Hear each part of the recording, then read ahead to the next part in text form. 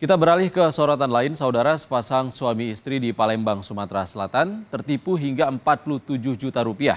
Mereka tergiur tawaran seseorang yang mengaku bisa meloloskan anak mereka jadi anggota TNI.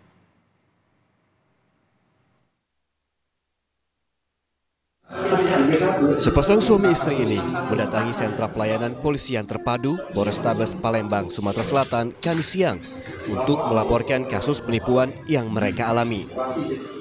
Menurut keterangan korban, awalnya terlapor menawarkan diri untuk membantu anak mereka agar bisa masuk jadi anggota TNI dan langsung berdinas di Mabes TNI dengan syarat mahar sejumlah uang. Merasa sudah berteman lama, tanpa pikir panjang, korban kemudian mentransfer sejumlah uang kepada terlapor. Namun ternyata anak korban dinyatakan tidak lolos TNI setelah gagal saat mengikuti tes renang. Merasa tertipu, kasus ini pun dilaporkan ke polisi dengan membawa bukti transfer sebesar 47 juta rupiah secara bertahap.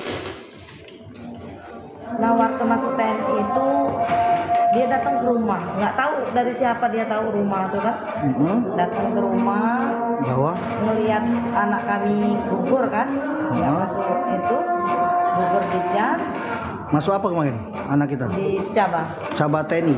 Ah, terus Nah, ini katanya dia janjiin katanya Bisa- bisa diurus, disisipkan ke Jakarta, ke Preston Tohir katanya. oh kata dia bu. ya.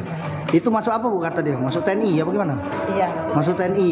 Ber- Polisi telah menerima laporan ini dan berencana akan mempertemukan kedua belah pihak untuk memperjelas kasus ini. Yudi Kiswanto, Kompas TV, Palembang, Sumatera Selatan. Sebulannya 2 juta.